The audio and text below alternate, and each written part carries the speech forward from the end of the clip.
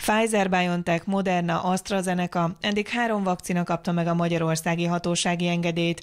Vasárnap viszont bővült a lista, lehet már oltani az orosz Sputnik V-vel is. Ez a vakcina hatásos és biztonságos. Egyelőre 3000 a Nemzeti Népegészségügyi Központ által bevizsgált orosz vakcina áll rendelkezésre, de folyamatban van további 20 ezer adag oltóanyag hatósági ellenőrzése.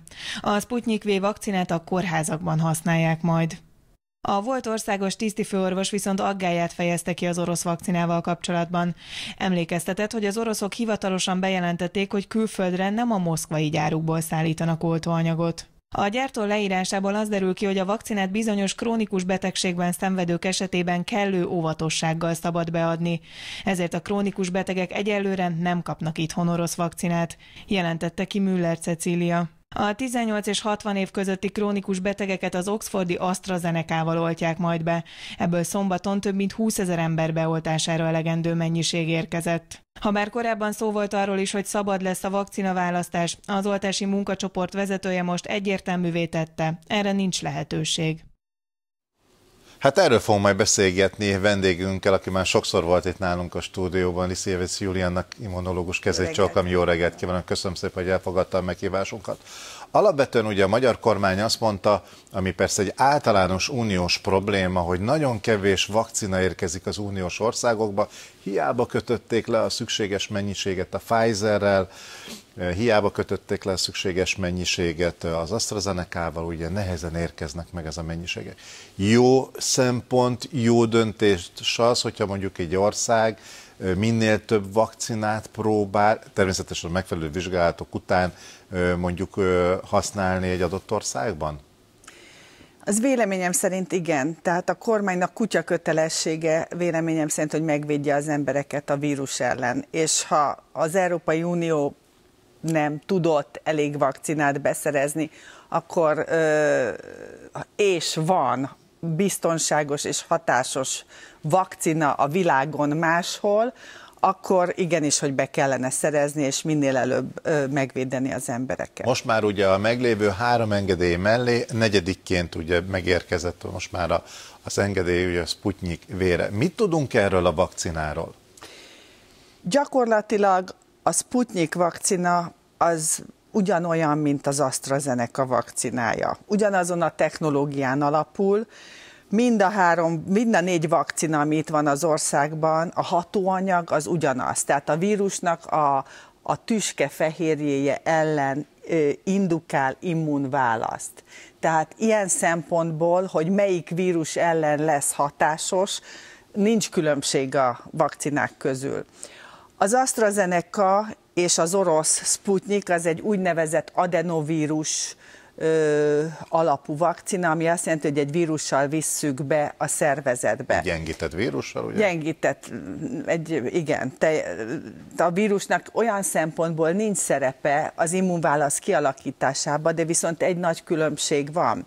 Tehát ha az AstraZeneca vagy a orosz vakcinával szeretnénk majd egy mutáns vírus ellen oltani, akkor azok már nem lesznek jók. Mert ugye a, a gyengített vírus ellen is csinál immunválaszt, ezért újraoltás azzal már nem lehet. Ezzel szemben a Moderna vagy a Pfizer vakcinával, ha egy megváltozott vírus ellen ö, szeretnénk ugyanazt a fajta technológiát felhasználni, az fog működni.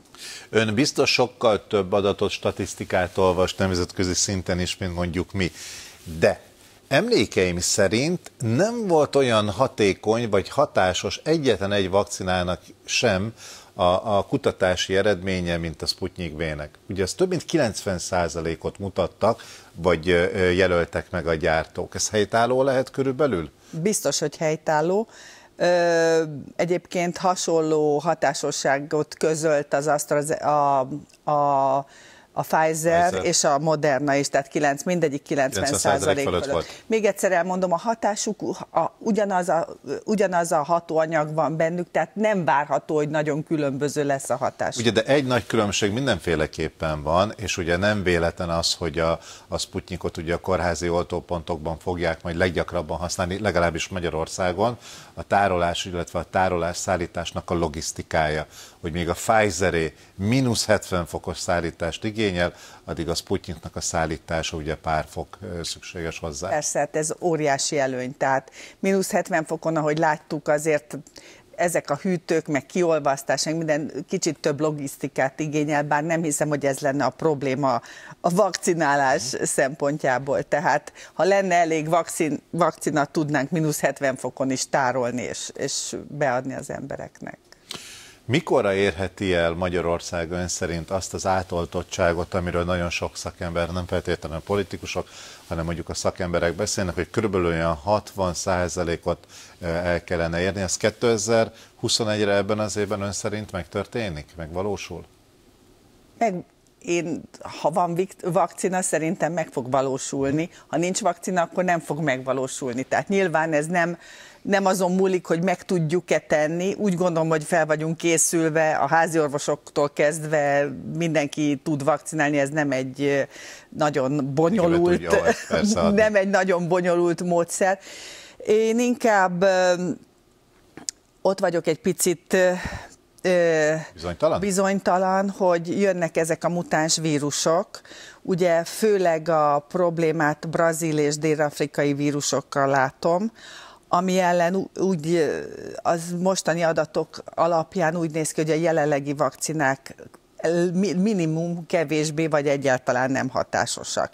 Tehát mivel ezek a, a mutáns vírusok gyorsabban terjednek, átvehetik a a szerepet, ugye ő, ezek lesznek legnagyobb mennyiségbe, tehát hogyha a vak, jelenlegi vakcinákkal nem tudunk elég gyorsan vakcinálni, nem tudjunk elég embert megvédeni, akkor jön a következő vírus, ugye, az replikálódik, és akkor már lehet, hogy a vakcinált emberek nem lesznek védettek a következő vírus ellen. De ugye ön immunológus, és az Egyesült Államokban ezen a területen dolgozott rengeteg több évtizeden keresztül, tehát ön biztos pontosan tudja azt, hogy ilyenkor a gyártók, hogyan fejlesztenek, hogyan dolgoznak már előre az időben. Igen. Tehát nagy valószínűség én azt gondolnám, hogy ilyenkor a gyártók már dolgoznak azon nem, hogy a mutálódott vírus ellen is a vakcinákat fejleszték. Természetesen. Így működik ez. Így működik. Ennek a mechanizmusa idő szempontjából körülbelül mit jelent?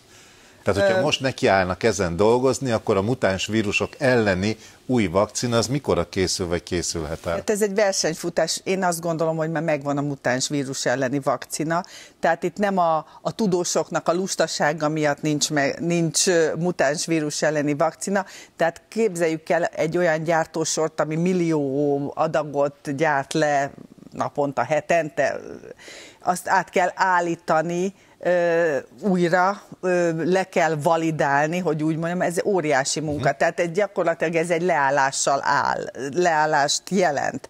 Tehát, hogyha mi most, nem mi, ha például Pfizer át akarna állni az új vakcina gyártásra, a mutáns vírusok elleni vakcina gyártásra, azt jelenti, véleményem szerint, hogy egy pár hétig, vagy lehet, hogy egy hónapig egy darab vakcinát se tudna gyártani. Tehát most neki, ha meg, én úgy gondolom, hogy megvan a mutáns vírus elleni vakcina, akkor ugye nem azt, nem azt kell vizsgálni, hogy, hogy, hogy akarja gyártani, vagy nem, hanem hogy mikor kezdje el gyártani. Hát igen, a gyártási kapacitástól függ. Igen. De amikor erről beszélünk, hogy ön azt mondja, hogy ön szerint már megvan az új mutáns vírus elleni vakcina, akkor ez a bizonyos dél-afrikai mutációról beszélünk, mert ugye az, az okozza egy, egyelőre információnk szerint a legnagyobb fejtörést. Így van, úgy néz ki, hogy a jelenlegi vakcinák az angol mutáns ellen jól működnek, a dél-afrikai brazil ellen rosszul. Úgy gondolom, hogy ez, er, erre már van vakcina, és ez okozza a legnagyobb fejtörést. Még itt Európában, meg az USA-ba olyan nagy számba, ö, arányban nincsenek ezek a mutánsok, tehát gondolom az átállás akkor fog megköve- bekövetkezni, hogyha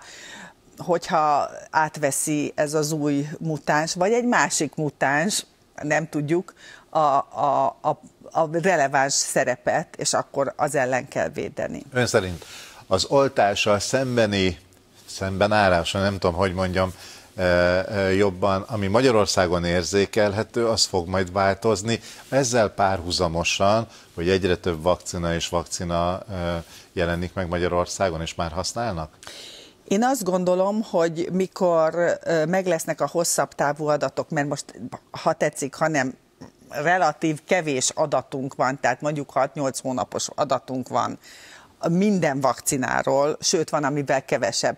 Tehát ahogy meg lesznek a hosszabb távú adatok, egyre jobban látjuk majd a hatásosságot és a biztonságot, és ahol, ah, annak alapján a tudomány fogja ezt meghatározni, hogy hogy változik a hozzáállás. Igen, hogy a bizalom erősebb Igen. legyen.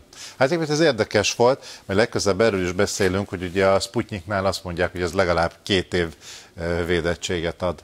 A, ezt a, nem tudják, ezt senki nem tudja. Én csodálkoznék, ha itt különbségek lennének, de senki nem tudja, hogy két év védettséget ad, vagy nem, mivel nincs, meg a, nincs ilyen adat.